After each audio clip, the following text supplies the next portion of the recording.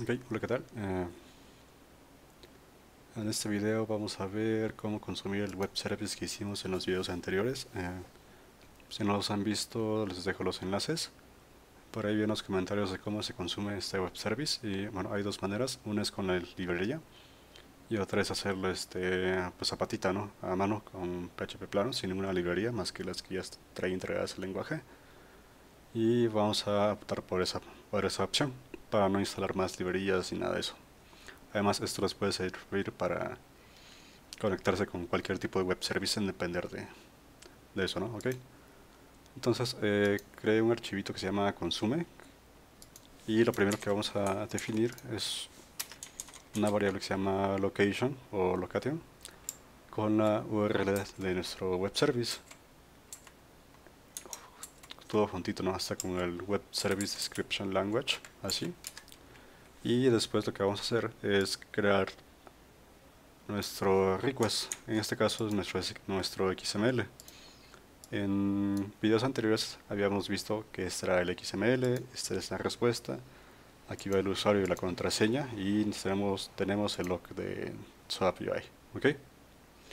Entonces lo que voy a hacer va a copiar este XML del Swap UI ya lo tengo aquí eh, una variable que se llame request. Ok, aquí está. Luego lo que sigue este, una, únicamente para para mostrarlo eh,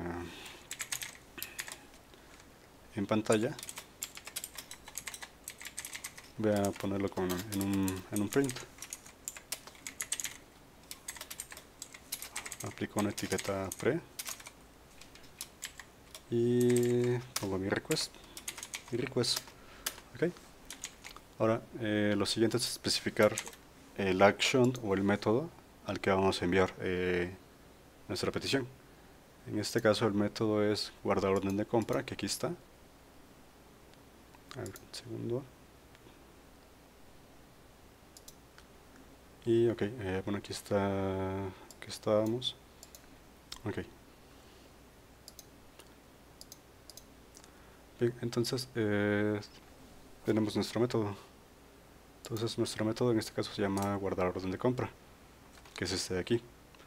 Entonces lo que sigue es, especificar eh, a dónde queremos este, enviar esa información, ¿no? qué método vamos a ocupar. Entonces vamos a declarar una variable que se llama action y guardar orden de compra ok ya la tengo aquí. Y lo que sigue son los headers. Básicamente los headers es un arreglo sencillo un array donde vamos a especificar el, el método. En este caso es un post eh, la conexión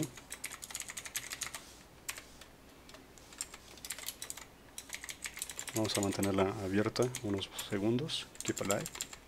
Lleva un guion. Eh, especificar nuestro user agent. Php swap. Vamos a utilizar esta herramienta que se llama curl especificamos el content type también en el header Bueno, la neta lo voy a copiar y pegar para no fallarle.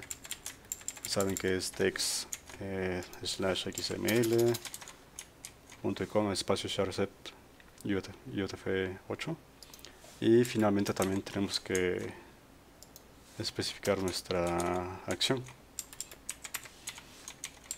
En este caso eh, la podemos tener en una variable yo la dejé directa. Entonces este es nuestro método ya tenemos los headers y entonces con curl vamos a agregar lo siguiente. Vamos a inicializar una nueva una nueva petición a la locación de nuestro web service. Eh, hay mucho ruido porque estoy cerca de un paradero. Espero que no se escuche.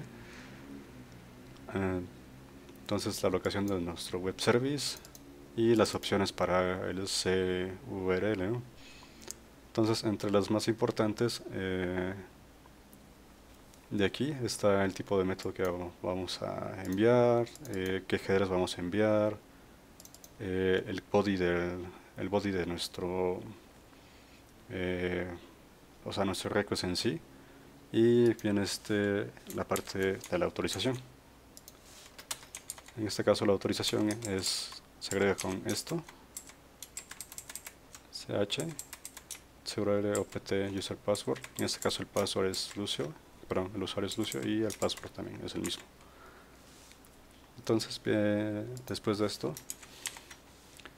vamos a ejecutar eh, esa petición. Entonces nuestro response es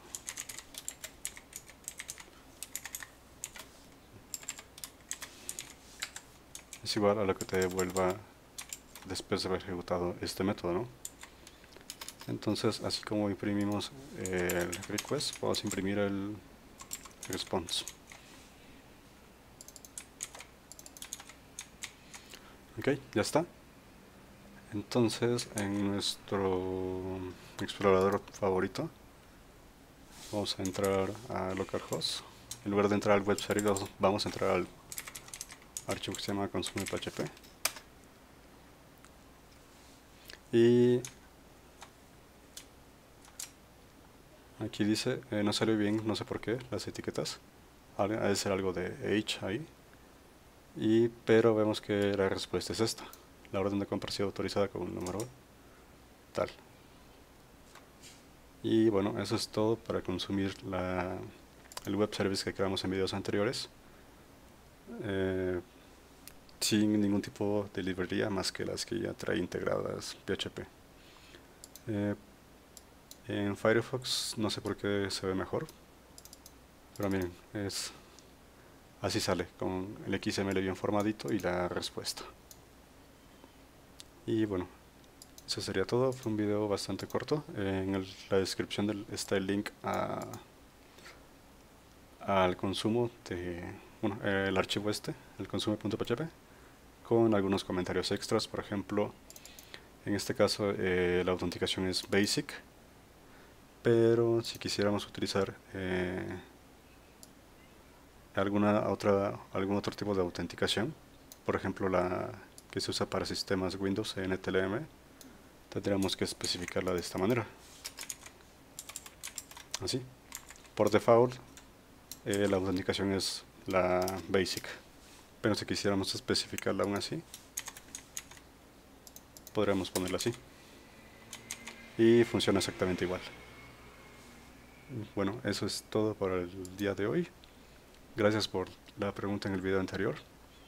Y si tienen, no sé, alguna otra sugerencia de video de cómo consumirlo, por ejemplo, desde eh, C Sharp o C Sharp o Java, eh, lo podemos hacer también. Es bastante sencillo. Bueno, eh, gracias. Hasta la próxima. Ay, feliz año, por cierto.